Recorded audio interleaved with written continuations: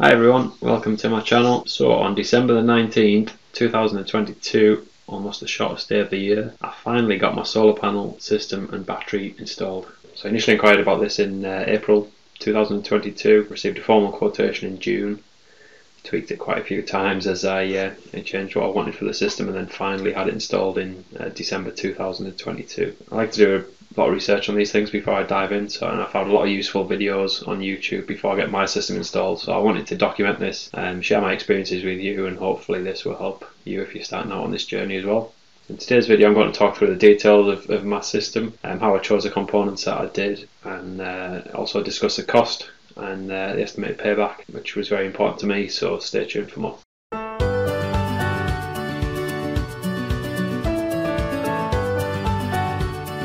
So the, the system I went for after a lot of research was the GivEnergy uh, 9.5 kilowatt hour battery, GivEnergy 5 kilowatt inverter and 16 Trina 395 watt uh, solar panels. So this made up overall system size of 6.32 kilowatt peak um, and I'm hoping this produces roughly around 5,000 kilowatt hours per year. Uh, I also looked at the Tesla Powerwalls but I couldn't justify the extra costs at the time compared with the GivEnergy. The GivEnergy had good reviews so that was what I went with. The 9.5 kilowatt hour GivEnergy battery also has a warranty of 10 years from the manufacturer and also unlimited cycles so you can charge and discharge it in theory as many times as you wanted. Uh, so a bit of detail about my house. It's a it's a five bedroom um, east west facing detached house in the northeast of England. Very open, no shading front or back. Um, we've got some some lovely views to the west, so nothing overlooking us. Plenty of scope for having a solar install on that side of the house.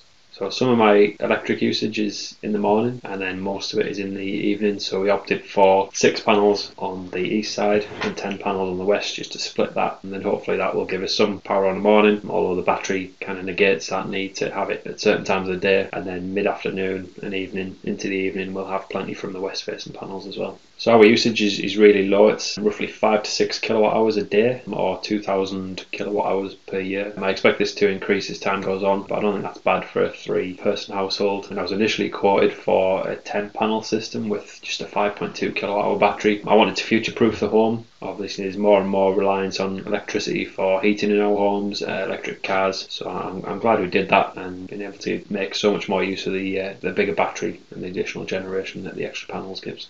So why did I install solar? There was a number of reasons really. So the primary motivation was to have more independence from the grid. We want to become less reliant on the grid and also protected from the price increases a bit. And this seemed like a good way to do that. Flexibility of being able to use it from the grid when we want with off-peak tariffs, that kind of thing is uh, is ideal. Play with the system when I want to to suit my energy requirements, so I can use the battery when I need the power um, and not when the sun's shining. So, second reason I wanted this to be something that would be an investment and would give a payback. I know there's um, varying views on this when I've read about it. Some people think that payback doesn't really matter. For me, it did with electricity and gas prices as they are um, at the levels that they're at at the moment. It seemed to bring the payback of, of the system right down to what seemed reasonable. I think at the time of writing this video, the, the price of electricity is 34 pence per kilowatt hour and gas is about 10 pence per kilowatt hour and that's due to go up again in April 2023. For me personally, make use the system to make as much money as possible. When the export rates are higher on certain tariffs, for example, such as Octopus Agile, also with the saving sessions Octopus have done recently, I can use that to really maximise what it is that I'm getting from the system.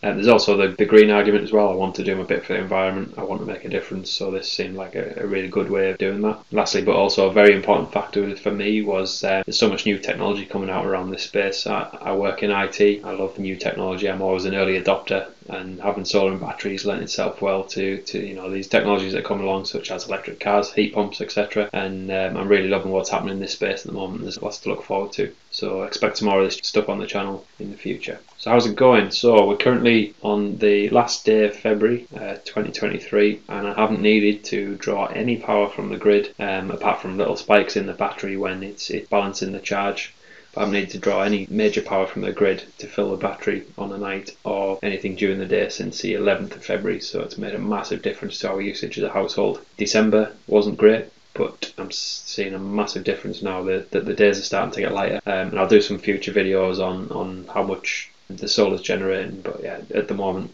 even in February, the end of February, solar is generating enough to fill the battery and, and power the house all day. So that's great. So, what advice would I give to anyone looking to do this? I would say get at least three quotes and check both local and national suppliers. Check reviews and ratings. There's plenty of sites available, Trustpilot, that kind of thing, that will give you good reviews on companies. Personally, I used uh, a local company based in Middlesbrough called UCS Technologies. They were, were really good for me, reasonably small local company, and I had no issues with them whatsoever. I would, I would highly recommend them some of the other advice that I'd read when I was looking into this was fill your roof with as many panels as you can. Obviously, there's a cost implication there, um, but I think one of the things that people who'd had this done seem to regret was not filling the roof space with solar. I think that's something I'd like to do in future, um, particularly for the for the winter usage. Is to add more panels on the west facing roof just to, to cover us a bit more throughout that winter period. So payback and costs. I've already touched on this on the payback a little bit it's very difficult to say. There's so many potential factors in this, especially at the moment with the way the world is and with the uncertainty around prices. So I base my payback on, on roughly a 50 50 split of savings on bills and export throughout the year, especially in summer. Assuming we can we can get a higher rate on the likes of Octopus Agile. There's other new tariffs coming along all the time, particularly one at the moment called Flux that's due to come out that gives it a decent export rate. And I calculated the system would take